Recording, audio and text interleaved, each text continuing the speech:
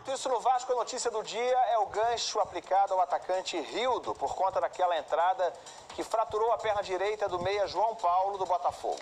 Ele está suspenso até que o João Paulo volte a treinar, mas a pena pode se estender e chegar a até 180 dias longe dos gramados.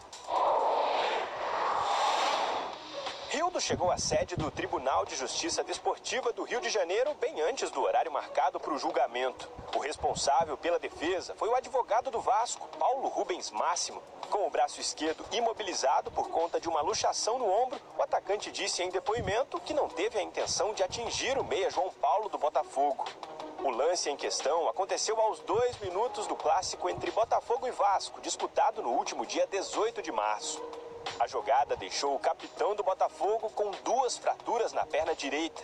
Antes da votação, a Procuradoria propôs uma transação disciplinar, que daria a Rildo uma punição leve, uma suspensão por três partidas, algo que não foi aceito pela comissão julgadora. Esse é meu sexto ano de tribunal e isso nunca havia acontecido. A Procuradoria, a partir da Procuradoria, logo no início de uma sessão, é, pedir uma transação disciplinar.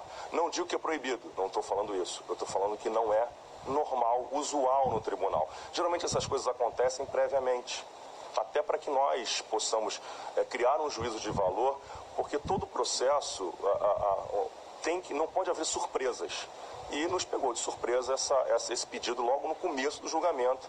O julgamento de Rildo durou aproximadamente uma hora e 15 minutos e terminou com uma péssima notícia para o atacante vascaíno. Por unanimidade, ele foi suspenso por 180 dias, ou até que João Paulo volte a treinar. A gente aplicou a pena que cada um dos auditores eh, julgava ser a pena cabível para o caso. Né?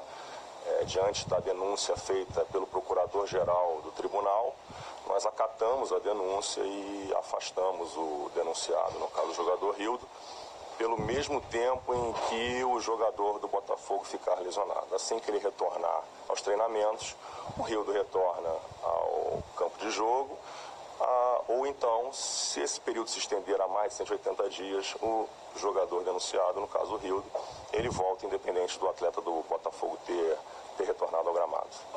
No fim da sessão, o clima esquentou quando o representante da Procuradoria sugeriu que os auditores que julgaram o caso teriam combinado os votos. Rildo e os representantes vascaínos na sessão deixaram o tribunal sem falar com a imprensa. O advogado do Vasco, no entanto, disse que o clube vai recorrer da decisão. A parte denunciada tem o direito de, lavrado o acordo, recorrer ao tribunal impugnando cada um daqueles pontos que foram julgados hoje, desde a rejeição das preliminares até o mérito da questão, que foi a condenação. É, dizer para você qual é a possibilidade ou não de reforma da decisão seria imprudente da minha parte, porque é o tribunal pleno que vai decidir, são dez auditores é, pensando sobre a questão, eu não tenho como dizer para você se será mantida a decisão ou se ela será reformada em um dos pontos.